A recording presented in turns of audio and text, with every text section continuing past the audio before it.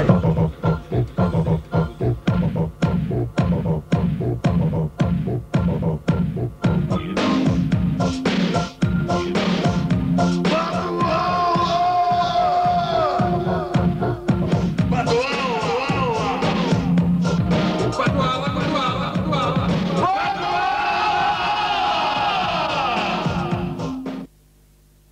Я думаю, можем начать. И давайте сразу определимся, это таки батуала или хуй есть ту. А я дурень, усе життя гадав, що Батуала це я. Я вас умоляю, вы мне ради бога скажите, этот Батуала случайно не еврей? Еврей. А может не еврей. А если еврей, то веселый еврей. Я требую начала просмотра. Я точно знаю, что передача Батуала угодна Аллаху. Если неверные псы эти дети шакала посогнут на святину, мы объявим им священную войну газовать, и над всем миром воцарит Батуала под зеленым знанием шариат. Батуала. Ура!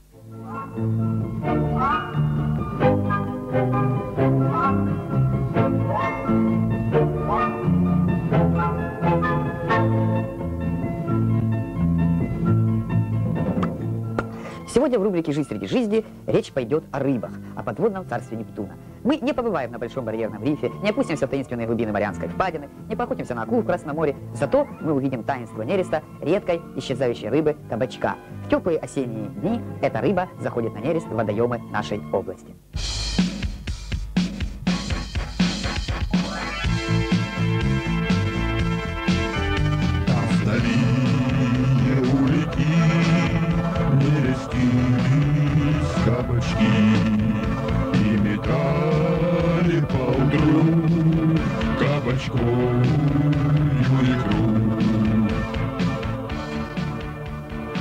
Но, к сожалению, мать природа порой жестока к своим творениям.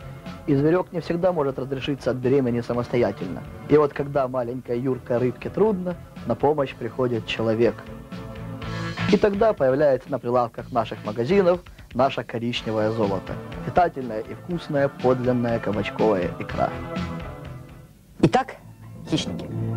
Все знают акул, скатов, злобных косатых, крабов, но мало кто знает о такой рыбе-паразите, как анальный сомик. Анальный сомик водится в реках бассейна Амазонки.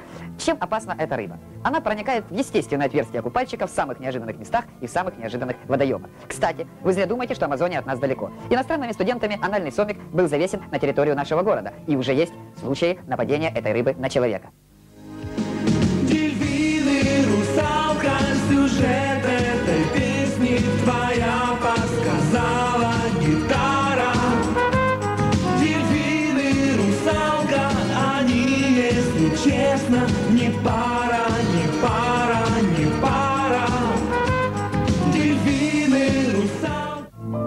как вы убедились, бдительность, бдительность и бдительность. Она иногда не помешает.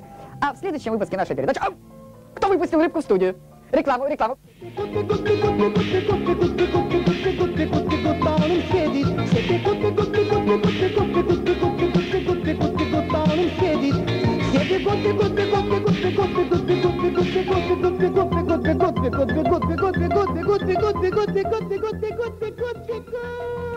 От пули не убежишь. Ижевский завод взрослой игрушки ваш надежный партнер в 48 странах мира.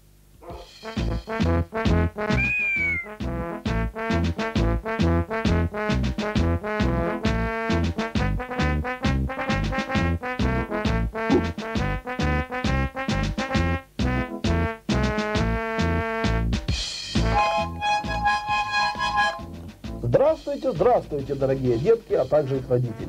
Чувством глубокого, грандиозного и повсеместного внутреннего и внешнего удовлетворения сообщаю бы вам об открытии для вас, наших самых дорогих и любимых телезрителей, нашей новой, но, надеюсь, отныне постоянной рубрики «Детская страничка».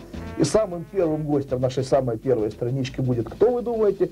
Конечно же, известнейший детский критик, редактор самого большого и толстого журнала для детей и видный борец за детскую нравственность Самуил Ибн Агниевич Термальшадзаде. А речь с ним у нас пойдет о перегибах и недопустимых перекосах в нынешней детской литературе. Уважаемый Самуил Ибн вот какие тенденции в развитии нынешней детской литературы вас беспокоят, тревожат, пугают? Собственно, меня не пугает ничего сейчас в литературе. Но определенные тенденции, вы очень верно подметили, прослеживаются. Даже если мы возьмем классиков. Это пропаганда секса, насилия и излишеств разных. Ну, предположим, я не побоюсь этого слова, Корней. А, я знаю этого писателя. Вдруг из маминой спальни кривоногий и хромой выбегает. Кто выбегает? Из маминой спальни. Умывальников начальник и мочала командир. А известно ли вам, что такое мочалка на детском жаргоне? Боюсь, что известно. Или вот. Ну вот это ж э, прямая пропаганда наркомана. Я уколов не боюсь, если надо, уколюсь. Куда это лезет? В вену, я так думаю? Я понимаю, что вену, но зачем это знать нашим детям?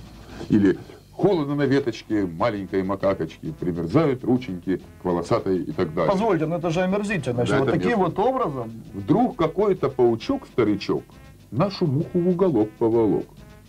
Хочет бедную. Что хочет? что хочет. Нет, это я вас спрашиваю, что хочет. Я Это понимаю. Мы, мы понимаем с вами, что Нет, мы хочет. понимаем, но зачем об этом знать нашим детям? Да, слава богу, до сих пор еще есть литература, которая не подвержена тлетворному влиянию Запада и не перекашивает, и не перегибает. Именно такую литературу и пропагандирует из последних своих сил наш нынешний гость. Самунил Ибн Агниевич, как что вы скажете на предложение показать ваши картинки к сказке про отважного дедушку Бимбо? Я буду рекомендовать посмотреть нашим детям эту сказку.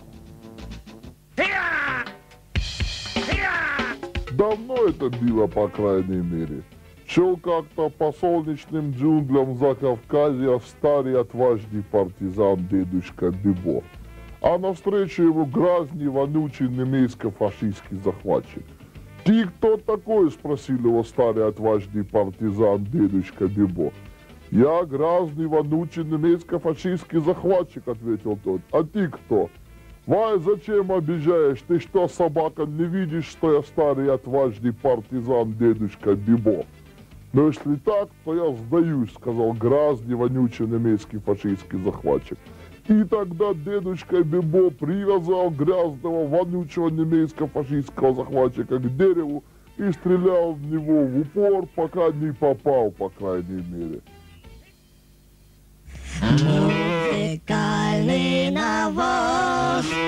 Здравствуйте. Сегодня хозяин навоза я, Иван Гермидов.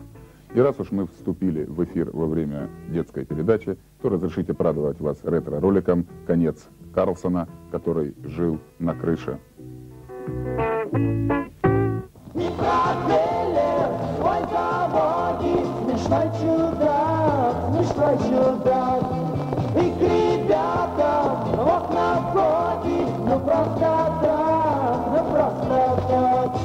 Поднимает настроение, дразнит, тормошит, ест клубничные варенье и